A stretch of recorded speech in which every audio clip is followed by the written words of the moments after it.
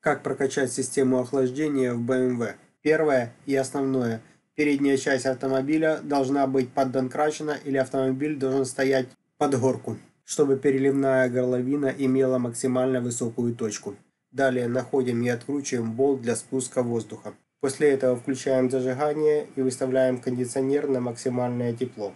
После этого вы услышите, как включится насос и начнется циркуляция охлаждающей жидкости. После этого заливаем антифриз, следя за поплавком и спусковым отверстием. За счет циркуляции жидкости излишки воздуха выходят. Дожидаемся, пока воздух перестанет выходить. По завершению болт закручиваем обратно. Далее контролируем, чтобы охлаждающая жидкость была на уровне отметки.